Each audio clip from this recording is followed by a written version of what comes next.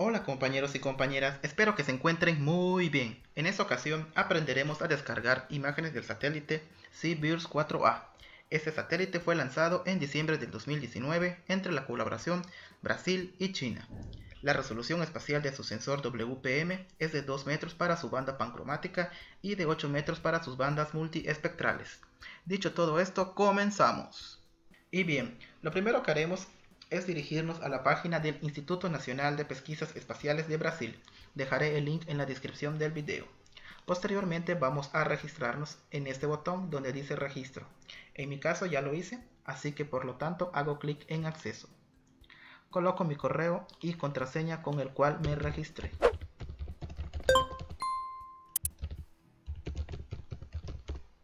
Posteriormente hago clic en entrar. Una vez que haya iniciado sesión, me voy a la pestaña de datos y activo la última casilla. Posteriormente hago clic en consulta y voy a seleccionar el intervalo de fechas en las cuales quiero mis imágenes. En este caso quiero mis imágenes a partir del 1 de septiembre al 26 de octubre. Aquí en cobertura de nubes quiero imágenes hasta con 15% de cobertura de nubes. Posteriormente con ayuda del mouse voy a localizar mi área de estudio. He checado que existen imágenes para Bolivia, para Perú, para Chile, para Paraguay, para algunos países de África y para China. Por favor ustedes chequen si existen imágenes para sus países. Ok, entonces con ayuda, con ayuda del mouse voy a localizar mi área de interés. En este caso marcaré esta área del río Tieté. Para hacer eso activo esta casilla donde está el cuadrito negro y mantengo el botón izquierdo del mouse y delimito mi rectángulo. Ok. Posteriormente hago clic en filtrar. y en esta parte me aparecerán mis imágenes para el área. Podemos visualizarlas si activamos esta casilla.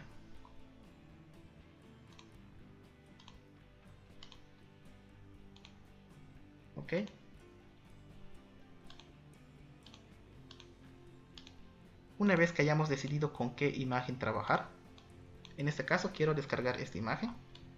Voy a checar sus metadatos haciendo clic sobre ella. Ok. Podemos ver que tiene una cobertura de nubes de cero. Y podemos ver aquí sus otros datos. Ok. Una vez que hayamos decidido qué imagen descargar vamos a hacer clic en este botón de, un carrito y aquí nos aparecerá el número 1 para descargarlo hacemos clic sobre este carrito con el número 1 y así y aquí nos aparecerá nuestras imágenes para descargar. Podemos ver que tenemos si pasamos aquí el mouse sobre este botón, vemos que es la banda pancromática y que aquí y que la siguiente es su archivo XML con sus metadatos.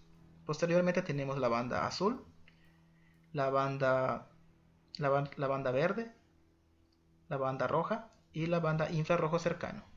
Entonces tenemos que descargar uno por uno. A manera de ejemplo voy a descargar la banda pancromática. Hago clic y podemos observar que la banda pancromática pesa 2.9 GB. En este caso voy a cancelar ya que ya he descargado mis imágenes.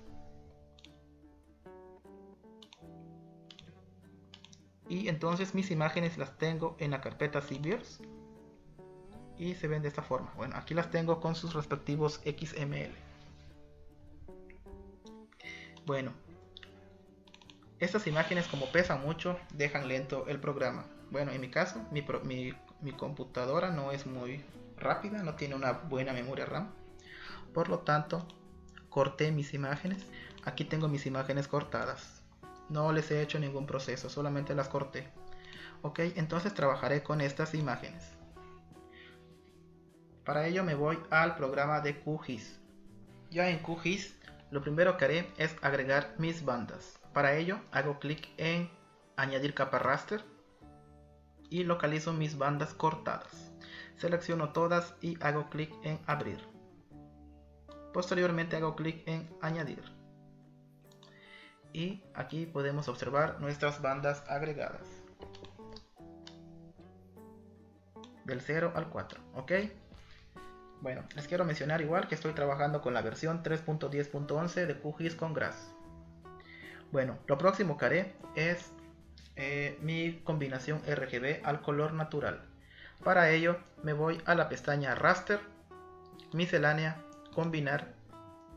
Aquí en capas de entrada voy a seleccionar las capas azul, verde y rojo. Entonces la banda 3 es la banda roja, la banda 2 es la verde y la banda azul es la 1. La mantengo en este orden, 3, 2, 1 y activo. Posteriormente hago clic en aceptar. Aquí donde dice coloque cada archivo de entrada en una banda separada, voy a activar. Aquí en tipo de datos de salida voy a seleccionar uint16, que es la misma de mis bandas. Posteriormente voy a guardar mi archivo raster. Le pondré como nombre RGB 321. Hago clic en guardar y posteriormente hago clic en ejecutar.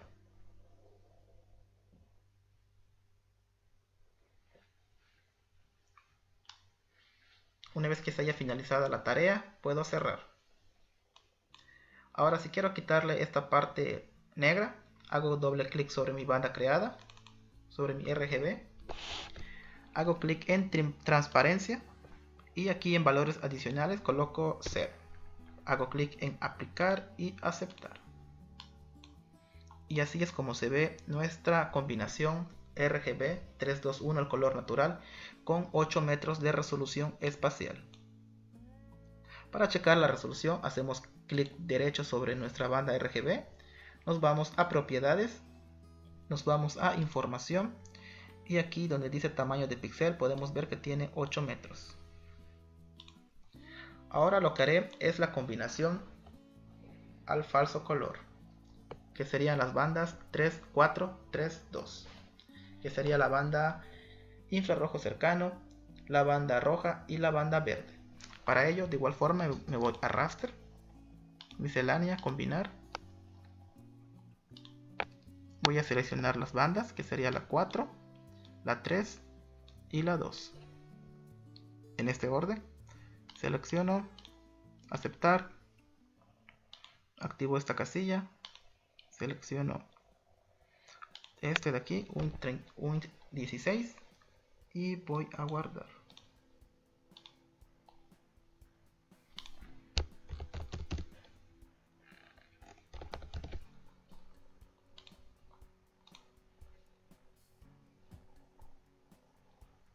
Una vez que se haya finalizado la tarea, cierro. Hago doble clic sobre mi, sobre mi RGB 432 y de igual forma en transparencia colocaré 0 y hago clic en aplicar y aceptar. Y así ya tenemos nuestro nuestra banda perdón nuestra combinación al color natural y falso color. Ok ahora lo que haremos es crear el puncher pen o la combinación eh, o el refinamiento pancromático para ello me voy a la pestaña procesos, caja de herramientas, aquí donde dice buscar voy a escribir Puncher Penning. Puncher, Puncher. Una vez que yo localice, hago doble clic. Aquí donde dice Dataset Espectral voy a seleccionar mi combinación. Puedo seleccionar la combinación 321 o la 432. En este caso voy a seleccionar la 4, la 321. Selecciono. Aquí en Data datas, datas, dataset pancromático, voy a seleccionar la banda, la banda 0, que sería la banda pancromática. Posteriormente voy a guardar y asignaré el nombre pan 321. Ustedes le pueden poner el nombre que deseen. Hago clic en guardar y ejecutar.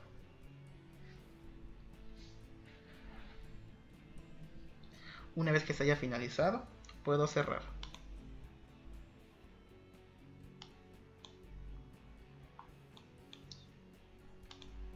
Y aquí tenemos nuestra combinación entre la banda pancromática y el RGB 321 obteniendo un refinamiento pancromático con 2 metros de resolución espacial.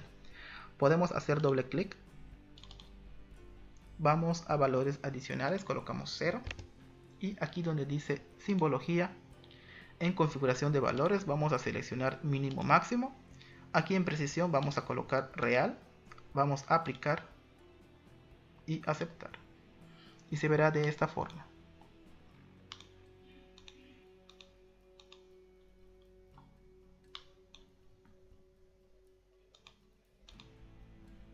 ok si queremos checar la resolución de igual forma hacemos doble clic nos vamos a información y podemos observar que el tamaño de píxel es de 2 metros y este mismo procedimiento lo podemos hacer para la combinación 432 ok y es así como tenemos imágenes de alta resolución del satélite CBIRS 4A y bien amigos, esto ha sido todo. Espero que les haya sido de utilidad. Por favor, comenten, compartan y suscríbanse. Hasta luego. Chao.